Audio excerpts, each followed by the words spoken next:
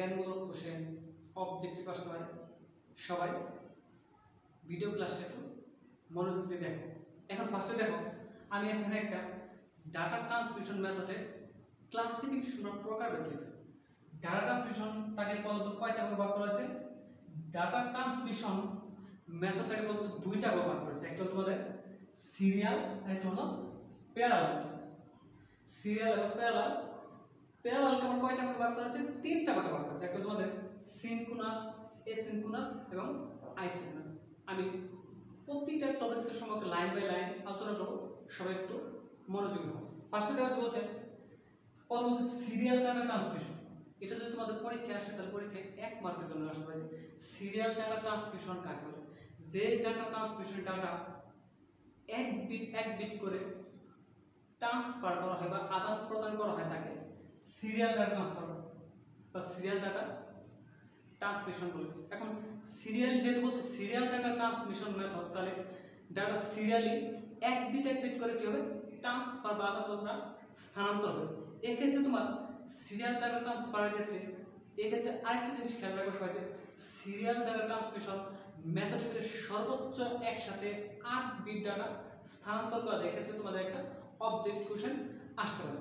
পরবর্তী যেটা তোমাদের parallel data data transmission parallel data transmission কাকে যে ডাটা ট্রান্সমিশন ডাটাকে প্যারালি মানে একসাথে অনেকগুলো ডাটা একসাথে স্থানান্তর করা যায় তাকে parallel data transmission parallel data ট্রান্সমিশনের ক্ষেত্রে তুমি আট বিট ষোলো বিট এবং বত্রিশ বিট করে ডাটা স্থানান্তর করতে পারবা তুমি চাইলে। আবার এক্ষেত্রে আরেকটা তোমাদের পরীক্ষা অবজেক্টিভ আসতে পারে যে প্যারাল ডাটা ট্রান্সমিশন কখন বা কিসের ক্ষেত্রে ব্যবহার করা এটা তোমাদের প্রিন্টারের ক্ষেত্রে আমি একটা অপশন সাইড লিখছি প্রিন্টারের ক্ষেত্রে। তোমাদের পরীক্ষায় আসতে পারে যে নিচের কোনটির ক্ষেত্রে প্যারাল ডাটা ট্রান্সমিশন মেথড ব্যবহার করে। কিসের ক্ষেত্রে? প্রিন্টারের ক্ষেত্রে আমরা যে কম্পিউটারের মধ্যে যে বিভিন্ন যে ফটোকপি বা বিভিন্ন প্রিন্ট করি, সেই প্রিন্টারের মধ্যে যে তোমাদের ডাটা ট্রান্সমিশন মেথডটা আছে, সেটা হলো প্যারাল ডাটা ট্রান্সমিশন মেথড এখন দেখো প্যারাল ডাটা কয়টা ভাগে ভাগ করা হয়েছে? তিনটা ভাগে ভাগ করা এক- একটা হলো তোমাদের সিনক্রোনাস আর হলো এসিনক্রোনাস এবং আরেকটা হলো আইসিনক্রোনাস সিনক্রোনাস কাকে বলে সিনক্রোনাস ডাটা ট্রান্সমিশন কাকে বলে? যে ডাটা ট্রান্সমিশন ডাটা ব্লক আকারে। মানে ব্লক আকারে বা প্যাকেট আকারে একসাথে ট্রান্সমিট করে। এখন তোমাদের প্রশ্ন থাকতে পারে, স্যার, যে স্যার যে ব্লক আকারে জিনিসটাকে এখন তো সবাই ঘুরে খেয়াল করো। সাপোজ ধরো, এখানে আমার কয়টা ডাটা আছে? এখানে পাঁচটা ডাটা আছে। এটা তোমার যে A B D E F এখানে একটা, এখানে পাঁচটা ডাটা মিলে একটা ব্লক আছে। এটাকে একটা ব্লকে আমি কনভার্ট করি এই পাঁচটা data zero one two three four এখন এই পাঁচটা এখানে কয়টা ডাটা আছে? একটা, দুইটা, তিনটা, চারটা, পাঁচটা। এই পাঁচটা ডাটা একসাথে আমি একটা ব্লক কনভার্ট করব, একটা প্যাকেটে কনভার্ট করে সেন্টার থেকে রিসিভার অথবা একসাথে ট্রান্সফার ট্রান্সফার করলাম তখন তাকে সিনক্রোনাস ডাটা ট্রান্সমিশন বলব তোমাদের পরীক্ষায় আসতে পারে যে সিনক্রোনাস ডাটা ট্রান্সমিশন কাকে বলে? অথবা ব্লক আকারে ডাটা ট্রান্সমিট করা হয় কোন ট্রান্সমিশন ক্ষেত্রে, কোন ট্রান্সমিশন ক্ষেত্রে ব্লক আকারে হয়, সেটা তোমাদের সিনক্রোনাস ডাটা ট্রান্সমিশন ক্ষেত্রে, এটা অপেক্ষাকৃত গতি বেশি। এক্ষেত্রে তুমি যখন প্যাকেট আকারে ডাটা স্থানান্তর করব, তখন অবশ্যই এটা কি পাবা? গতিটা একটু বেশি পাবা। এটা হলো কম ব্যয় হলো মানে এটা ক্ষেত্রে কষ্টটা খুব কম পড়বে। পরবর্তী দেখো কি বলছে? এসিনক্রোনাস এসিনক্রোনাস কাকে বলে? সিনক্রোনাসের বিপরীত হলো এসিনক্রোনাস সিনক্রোনাস ডাটা ট্রান্সমিশন দিয়ে তোমাদের ডাটা ব্লক আকারে বা ক্যারেক্টার সরি ব্লক আকারে বা প্যাকেট আকারে ট্রান্সফার করা হয়। কিন্তু সিনক্রোনাস ক্ষেত্রে তার বিপরীতটা যদি আমি ভাবি, তাহলে একটু খেয়াল করে সবাই যে data transmission data character by character মানে কি? একটা ক্যারেক্টার প্রথমে দেন আরেকটা একটা সাপোজ ধরো, এটাকে যদি আমরা এসিনক্রোনাসে ট্রান্সফার করি এসিনক্রোনাস ট্রান্সমিশন মোডে আমরা ফলো করে অনুসরণ করি তাহলে এক্ষেত্রে প্রথমে এ বি ডি ই এবং এফ এবং সিরিয়াল কি ক্যারেক্টার বাই ক্যারেক্টার প্রথমে একটা ক্যারেক্টার দেন আরেকটা ক্যারেক্টার দেন আরেকটা ক্যারেক্টার দেন আরেকটা দেন আরেকটা। মানে তোমাদের ক্যারেক্টার বাই ক্যারেক্টার কি হবে ট্রান্সফার বা আদান প্রদান আদান প্রদান অর্থাৎ যে data transmission data character by character transmit বা স্থানান্তর করা হয় তাকে তোমাদের এসিনক্রোনাস ট্রান্সমিশন বলা হয়। এখন এসিনক্রোনাস ট্রান্সমিশনের যেহেতু ক্যারেক্টার বাই ক্যারেক্টার আদান প্রদান করা হয়, এই ক্ষেত্রে তোমার এটা গতিটা একটু কম। এবং এটা একটু বেশ ব্যয়বহুল পরবর্তী যে টপিকটা আছে সেটা তোমাদের আইসিকোনাস আইসিকোনাসটা হলো তোমাদের সিনকোনাস এবং এসিনকোনাসের উন্নত ভার্সন হলো আইসিকোনাস সাধারণত আইসিকোনাসের ক্ষেত্রে তোমাদের যেটা মনে রাখতে হবে সেটা তোমাদের যে রিয়েল টাইম অ্যাপ্লিকেশনের ক্ষেত্রে মূলত আইসিকোনাস ডাটা ট্রান্সমিশনটা ব্যবহার করা হয় কিসের ক্ষেত্রে? রিয়েল টাইম অ্যাপ্লিকেশনের ক্ষেত্রে। এখন তোমাদের মূলত যে টপিকসটা নিয়ে আলোচনা করা হলো সেটা তোমাদের ডাটা ট্রান্সমিশন মেথড কয় প্রকার এবং কি কি এবং প্রত্যেকটা প্রকারের বিস্তারিত আলোচনা। আশা করি সবাই বুঝতে পারছ।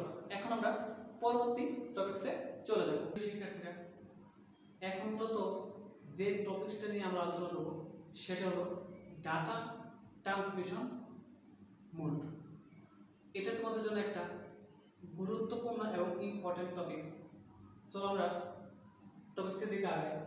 দেখো, আমি বলে লিখছি ডাটা ট্রান্সমিশন মোড এখন এক্ষেত্রে তোমাদের এখান থেকে যেটা জানতে হবে সেটা হলো ডাটা ট্রান্সমিশন মোড কাকে বলে? আমি সংজ্ঞাটা বলতেছি, সবাই খাতায় নোট করে রাখো। ডাটা ট্রান্সমিশন মোড হলো ডাটা কমিউনিকেশনের ক্ষেত্রে ডাটা প্রবাহের দিক, দিককে। ডাটা কমিউনিকেশনের ক্ষেত্রে ডাটা প্রবাহের দিককে মানে দিককে মানে কি? প্রবাহ দিক মানে কি?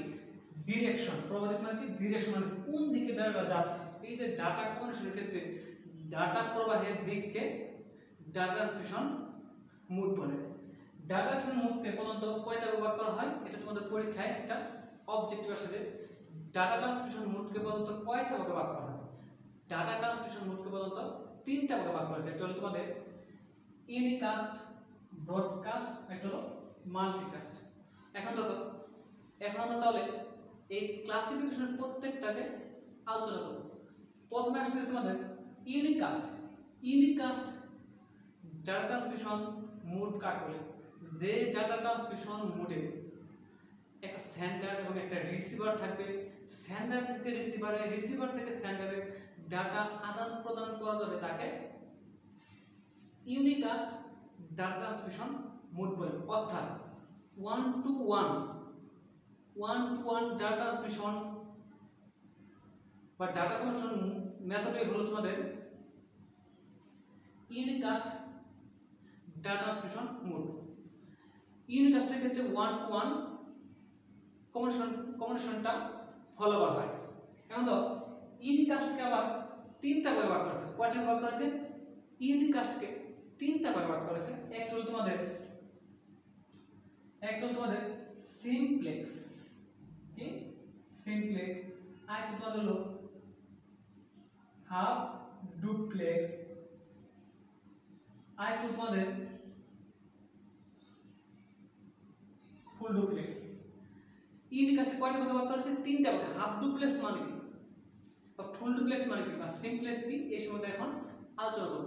ফার্স্টে দেখো বলছো তোমাদের সিমপ্লেক্স সিমপ্লেক্সটা মানে কি? সিমপ্লেক্স হলো একমুখী। এক্ষেত্রে আমি simplex half duplex full duplex প্রত্যেকটার চিত্র দেখাবো সবাই।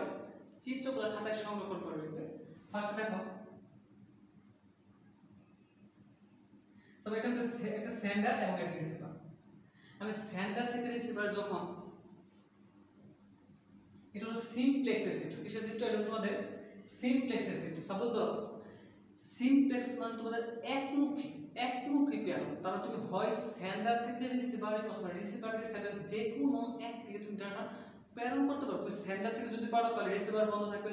রিসিভার থেকে যদি পারো, তাহলে সেন্ডার বন্ধ অর্থাৎ যে ডাটা ট্রান্সমিশন মোডে অর্থাৎ যে ডাটা ট্রান্সমিশন পদ্ধতিতে ডাটাকে সেন্ডার থেকে রিসিভারে রিসিভার থেকে সেন্ডার যে কোনো এক দিকে প্রেরণ করা যায় তাকে সিমপ্লেক্স বলে। এই জন্য এটাকে একমুখী প্রেরণ বলে। সিমপ্লেক্সের ক্ষেত্রে তোমাদের একটা তোমাদের পরীক্ষা অবজেক্টিভ আসতে পারে যে সিমপ্লেক্স কোথায় কোথায় ব্যবহার করা রেডিও এবং টিভি বা রেডিও অথবা টিভির যে অনুষ্ঠানগুলো আছে, এগুলোর ক্ষেত্রে সিমপ্লেক্স একমুখী প্রেরণ ফলো করা বা অনুসরণ করা হয়। তারপর দেখো তোমাদের কি বলছে? হাফ ডুপ্লেক্স তো এখান থেকে কোশ্চেন থাকবে হাফ ডুপ্লেক্স ডুপ্লেক্স মানে কি? উভয়মুখী। কিন্তু এখানে যেহেতু বলছে হাফ ডুপ্লেক্স তাহলে এখানে তোমাদের সেন্টার থেকে রিসিভার রিসিভার সেন্টার দুই দিকে তুমি ডাটাটা পাঠাতে পারো। কথা হলো, তুমি যখন সেন্টার থেকে রিসিভার ডাটাটা পাঠাবা তার রিসিভার থেকে সেন্টারে মানে একই সময়ে যে কোনো একটি কাজ তোমাকে করতে হবে। মানে যে কোনো একটি কাজ করতে হবে, দুইটি কাজ করা যাবে সাপোজ ধরো, আমি সেন্ডার থেকে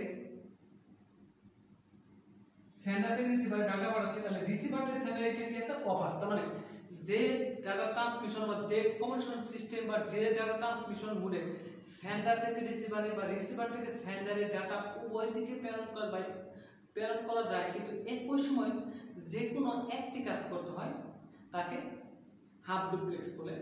এখন হাফ ডুপ্লেক্স তোমাদের পরীক্ষা আসলে হাফ ডুপ্লেক্স কোথায় ব্যবহার করা আমরা যে ওয়াকি টকি ইউজ করি ওয়াকি টকির ক্ষেত্রে হাফ ডুপ্লেক্সটা ইউজ করা হয় বা ব্যবহার হয়। হাফ ডুপ্লেক্সের পরে কোনটা আছে দেখো? Full duplex. এখন যদি আমরা ফুল ডুপ্লেক্স দেখি, তাহলে দেখো, ফুল ডুপ্লেক্স দেখে তুমি এটা সেন্ডার এটা রিসিভার সাপোজ ডাটা যাচ্ছে এবং ডাটা আসছে, তার মানে কি? হাফ ডুপ্লেক্সের বিপরীত হলো ফুল ডুপ্লেক্স। হাফ ডুপ্লেক্সের দুইটা অপশনই আছে বাট যে কোনো সময় একটা কাজ করা যাচ্ছে কিন্তু ফুল ডুপ্লেক্সে অর্থাৎ যে ডাটা ট্রান্সমিশন মোডে ডাটা সেন্ডার থেকে রিসিভার রিসিভার থেকে সেন্ডারে একই সময় ডাটা পাঠানো যায় অর্থাৎ একই সময় দুইটা ফাংশন তোমার চালিয়ে যাবে বা কাজ করবে সেটাকে ফুল ডুপ্লেক্স বলে। এখন ফুল ডুপ্লেক্সের কথা তোমাদের সাপোজ তোমরা মোবাইল ফোন বা টেলিফোন লাইনে আমরা যখন মোবাইলে কথা বলি, আমি বইয়ে তার মানে আমার, আমি সেন্টার থেকে যখন কথা বলি বা তোমার যখন টেলিফোন লাইনে কথা বলতেছি বা কথা শুনতেছি, দুইটা ফাংশন একসাথে শোনা যায়, বা মোবাইল ফোনে বা কমিউনিকেশন করলে যেটা হয় সেটা তোমাদের ফুল ডুপ্লেক্সের উদাহরণ। পরীক্ষা আসতে পারে নিচের কোনটিতে তোমার full duplex data transmission mode ব্যবহার করা হয় মোবাইল ফোন এক্সেট্রা এক্সেট্রা যেটা মোবাইল ফোন থাকবে বা টেলিফোন লাগবে টেলিফোন লাইন থাকবে, সেগুলো অ্যাপ্রোপ্রিয়েট আনসার হবে বা সঠিক উত্তর হবে। এখন দেখো যে তোমরা ইউনিকাস্টে চলে গেল ইউনিকাস্টের পরে আছে তোমাদের ব্রডকাস্ট এখন তো ব্রডকাস্ট হচ্ছে? যে ডাটা ট্রান্সমিশন মোডে নেটওয়ার্কের অধীনস্থ যে কোনো নোডে আমি ডাটা প্রেরণ করলে নেটওয়ার্কের অধীনস্থ সকল নোডে ডাটা গ্রহণ করতে পারে তাকে ব্রডকাস্ট বলে। হয়তো তোমাদের কোশ্চেন থাকবে, স্যার হবে? সেটা যেমন চিত্রের মধ্যে দেখা যাচ্ছে সাপোজ ধরো, এখানে একটা নেটওয়ার্কের নোড আছে, এখানে কি আছে? একটা নেটওয়ার্কের নোড আমি এখান থেকে, এখানে এখানে চারটা নোড আছে ডি সি ডি ই চারটা নোড আছে, তাহলে এখানে যদি একটা ডাটা পাঠাই এখান থেকে, এখানে এখানে, এখান থেকে এখানে এখান থেকে এখানে। তার মানে কি? এখানে একটা ডাটা পাঠানোর পরে তার নেটওয়ার্ক কয়টা নোড আছে? একটা, দুইটা, তিনটা, চারটা। চারটা নোডে কিন্তু ডাটা নিতে পারছে। তার কি? যে ডাটা ট্রান্সমিশন মোডে নেটওয়ার্কে অধীনস্থ সকল নোডে ডাটা গ্রহণ করতে পারে, তার মানে কি? আমি ডাটাটা এখান থেকে দিলে বি সি ডি এফ চারটা নোডে গ্রহণ করতে পারে, তাকে ব্রডকাস্ট ডাটা ট্রান্সমিশন মোড বলে। এখন লাস্টে যে টপিকটা আছে, সেটা তোমাদের হলো মাল্টিকাস্ট কোনটা? মাল্টিকাস্ট এখন দেখো বলছে মাল্টিকাস্টের কাছে ব্রডকাস্টের যে মাল্টিকাস্টে একটু তফাৎ আছে, সেটা তোমাদের তোমাদের যে ডাটা ট্রান্সমিশন মোডে নেটওয়ার্কের অধীনস্থ সকল নোডে ডাটা গ্রহণ করতে পারবে না, অর্থাৎ যে ডাটা ট্রান্সমিশন মোডে ডাটা প্রেরণ করলে নেটওয়ার্কের অধীনস্থ যে সকল নোডকে অ্যাক্সেস বা অনুমতি দেওয়া হবে, সে সকল নোডই ডাটাটা গ্রহণ করবে। সাপোজ ধরো এই চিত্রটা যদি আমরা এখানে এবং মুছে ফেলি ধরো এখানে, এই নেটওয়ার্ক অধীনস্থ এই চারটা নোড আছে। কিন্তু এই চারটা নোডের মধ্যে আমি এখানে বি ডি ই এই তিনটা নোডকে অ্যাক্সেস বা অনুমতি দিয়েছি যে এরা নেটওয়ার্কের অধীনস্থ সকল ডাটা গ্রহণ করতে পারছে। এই জন্য এটাকে তোমার মাল্টিকাস্ট বলে। মাল্টিকাস্ট কোথায় ইউজ করা? এটা হলো তোমার এসএমএস মানে কি? এটা ফুল মিনিং আসে তোমাদের পরীক্ষায় যে শর্ট মেসেজ সার্ভিস তারপর আছে তোমাদের এমএমএস এমএমএস মানে কি? মাল্টিমিডিয়া মেসেজ সার্ভিস আর তোমাদের ভিডিও কনফারেন্স তো পরীক্ষায় আসতে পারে যে ভিডিও কনফারেন্সিং এর ক্ষেত্রে কোন ডাটা ট্রান্সমিশন মোড ব্যবহার করে? কোন ডাটা ট্রান্সমিশন মোড এটা তোমাদের মাল্টিকাস্ট এখন তো সাপোজ ধরো, তুমি একটা এফবিতে একটা পেজ খুলছো বা একটা এফবিতে একটা মেসেজ একটা গ্রুপ খুলছো, কথা বলার জন্য। তুমি যদি সেখানে যাকে অনুমতি দিবে বা তাকে সেই গ্রুপে অ্যাড করবা, সেই কিন্তু তোমার মেসেজটা দেখতে পাবে। কেউ কিন্তু দেখতে পাবে। তার মানে কি? তুমি যাকে অনুমতি দিবে বা অ্যাক্সেস দেবা। মোট কথা হলো তোমাদের মাল্টিকাস্টের ক্ষেত্রে নেটওয়ার্কের অধীনস্থ যে সকল নোটকে আমরা অনুমতি বা অ্যাক্সেস দেবো, তারাই ডাটাটা গ্রহণ করতে পারবে। আশা করি এখন যে টপিকসটা নিয়ে আলোচনা হলো, ডাটা ট্রান্সমিশন মোড, তাহলে সবাই এই টপিকটা সম্পর্কে বুঝতে পারছ যে ডাটা ট্রান্সমিশন মোড তিন প্রকার। একটা ইউনিকাস্ট, ব্রডকাস্ট, মাল্টিকাস্ট। ইউনিকাস্টের তিনটা ভাগে ভাগ করা হচ্ছে সিমপ্লেক্স হাফ ডুপ্লেক্স এবং ফুল ডুপ্লেক্স আশা করি সবাই ভিডিও ক্লাসটা বুঝতে পারছ। সে ভালো থাকো, সুস্থ থাকো। আসসালামু আলাইকুম।